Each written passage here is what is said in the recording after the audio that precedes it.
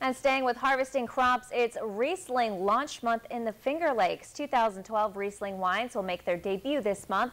Wineries have been crafting their 2012 vintage collections for the past year. They say they've had ideal growing conditions over that time. Over at Lakewood Vineyards, they're gearing up to pick grapes for next year's wine flavor development was beautiful. There's great intensity of flavor in the wines. Still that beautiful acid note that you get in Finger Lakes Rieslings that makes them so, um, just so bright and, and refreshing and exciting.